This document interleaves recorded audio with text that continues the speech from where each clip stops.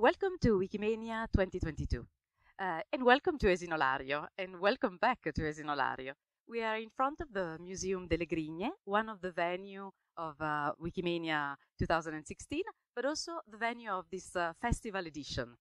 Uh, today what we wanted to do is to uh, show you how Esino Lario changed uh, in the last six years, but also allow you to visit our museum, where you, can, you, where you will find the new um, uh, museum design focused on uh, Wikimania uh, and also the legacy of this event. So a lot of things changed in Esino Lario in the last six, year, six years. Um, for Wikimania, we created and we installed um, uh, spaces that allowed the conference to take place uh, in a little uh, mountain village. So the museum was reorganized uh, we moved from the old museum, the uh, old collection to the new museum. This is the building. The room that you can see in the back was closed for the event, but also we changed a lot of other venues. Uh, Villa uh, Clotilde, which is uh, uh here in the garden, uh, was transformed, was improved for safety, for equipment. the primary school had better access for wheelchairs the uh, sport hall uh, was created a um, safety exit for the sport hall to allow an increased uh, number of participants to use uh, the space. And the old museum became a space for association in Esino Lario. The connectivity was uh, uh, improved for Wikimania 2016, and people are surprised to come back here in Esino Lario and to find that uh, the Wi-Fi and the password still work. Uh, so all the venue uh, that are used for public interest are still uh, nicely connected, and they can use the internet and facilitate the work online of all participants. Um, another aspect that was improved thanks to Wikimania um, is also the participation and the mapping of the village. Uh, so on OpenStreetMap, uh, you can find an extremely detailed um, number of information about uh, the territory. Uh, you can find uh, on uh, Wikipedia, on the Wikimedia project, on Wikidata, lots of information about the venue. And also, Esino Lario had promoted the involvement of the entire region in improving knowledge about heritage online.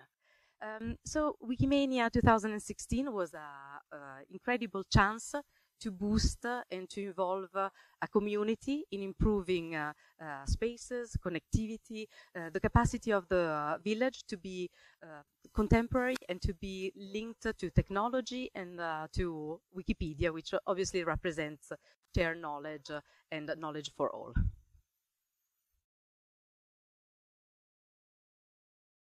The Museum of the Grigne is almost a hundred years old, but it doesn't look like it.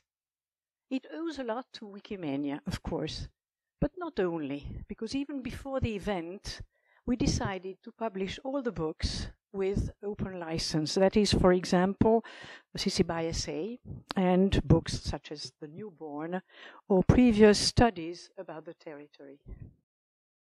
Wikimania was a great event for Esino. It was quite extraordinary, and it is recalled with pleasure.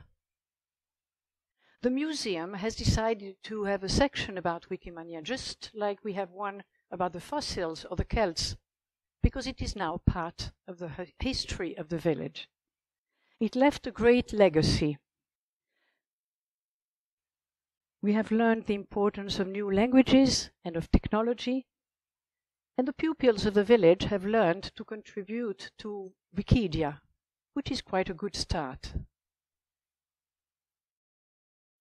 Esino Lario seems to be highly isolated, actually in the middle of nowhere.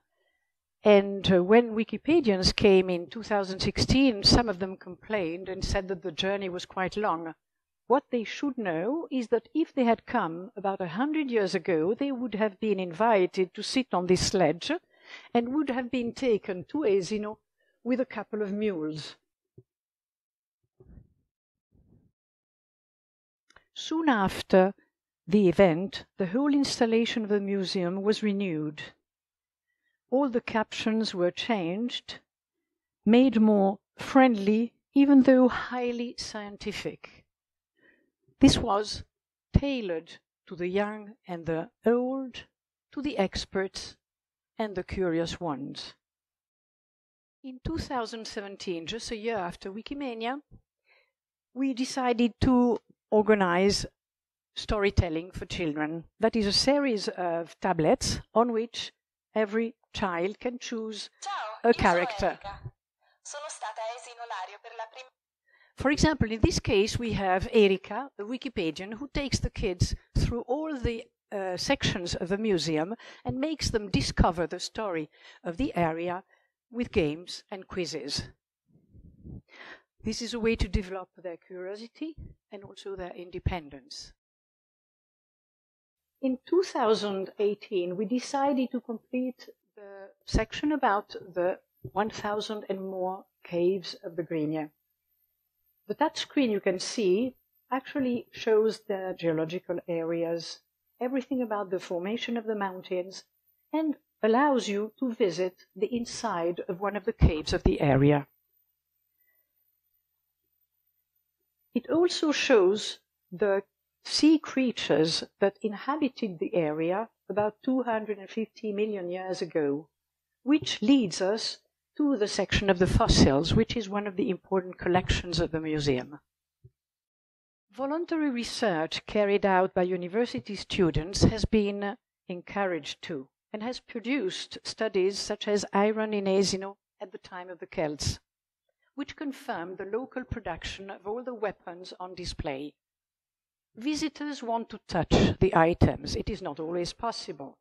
Therefore, we have asked to produce uh, copies of the former weapons. In this case, it is an iron uh, sword with its shield.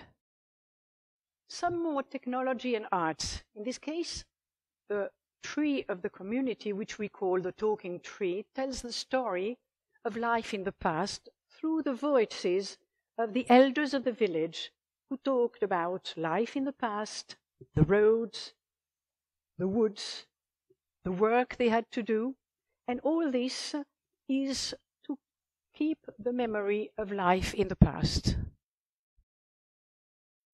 The museum has a new project which is called In and Out in the heart of the Grigna.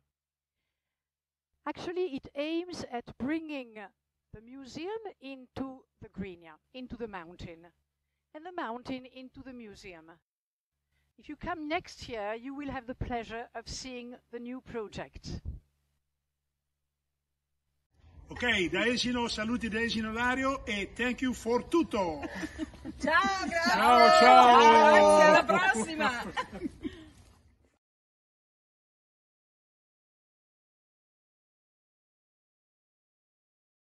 Um, welcome back to Esino Lario. Uh, we are uh, right now in the museum with uh, some of the participants.